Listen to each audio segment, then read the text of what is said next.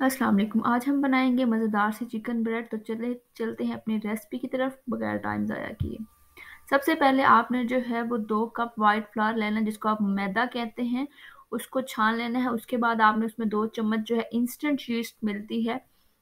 वो आपने सेपरेटली लेनी है। वन एग लेना है और हाफ़ कप मिल्क लेना है। नेक्स्ट आपने जो है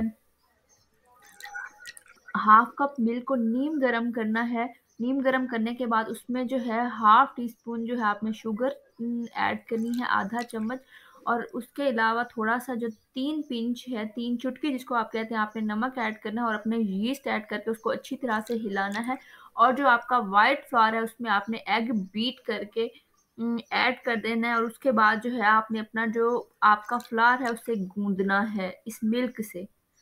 इसको अच्छे से जो है आप गूंदेंगे, अच्छे से भूनने के बाद आपने इसको जो है स्टे टाइम देना है थर्टी मिनट कवर करके रख देना, ये फूलना स्टार्ट हो जाएगा यीस्ट एक्टिव हो जाएगी।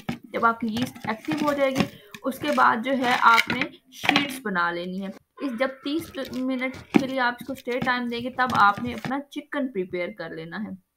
चिकन अब आप अपना प्रिपेयर कैसे करेंगे? आपने 500 ग्राम जो है बोनलेस मील लेना है, उसको छोटे छोटे उसके पीसीस कर लेने हैं और उसको फ्राई कर लेना है। फ्राई कर, जब आप कर रहे होंगे, आप तवे पे भी कर सकते हैं नॉन स्टिक पैन में भी कर सकते हैं, किसी भी चीज़ में कर सकते हैं। आपने सिर्फ़, क्योंकि जब आप चिकन को ऐड करते हैं फ्लेम पर किसी तवे या नॉन स्टिक पैन में तो वो अपना एक जो है, वो पानी रिलीज़ करता है। वो जो पानी जो छोड़ता है, वो आपने क्या करना है, उसी में ही उसको पकते रहने देना और उसके बाद बिल्कुल जब वो जब उसको 5 से 10 मिनट गुज़र जाए, बिल्कुल व्हाइट होना स्टार्ट हो जाता है, आपने ऐड कर लेना है अपना कोई भी फ्लेवर मुझे तिक्का फ्लेवर मसाला पसंद है तो मैंने वो ऐड किया तो आप जो है कोई भी फ्लेवर लेके, कोई भी मसाला लेके ऐड कर सकते हैं, जो आप चाहते हैं, उस तरह का आपको चिकन ब्रेड का टेस्ट है।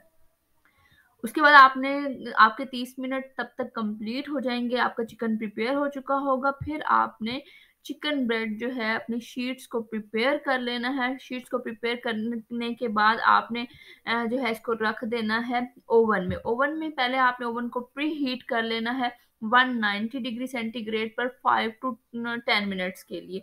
उसके बाद आपने इसको रखना है 180 डिग्री सेंटीग्रेड पर 20 मिनट्स के लिए। लेकिन अगर आप जो है डोलेंस का 115 मॉडल यूज़ कर रहे हैं ओमन का तो आपने एक चीज़ का ख्याल रखना है कि जैसे ही 12 मिनट गुजरे तो आपने अपनी चिकन ब्रेड की जो साइड है वो चेंज कर देनी है, वरना एक तरफ़ से ये होता है कि चिकन ब्रेड ऊपर से बिल्कुल अच्छे से प्रिपेयर हो जाती है और बिल्कुल हार्ड होना स्टार्ट हो जाती है, लेकिन नीचे से जो है वो उस तरह से प्रॉपर पक्की भी नहीं होती।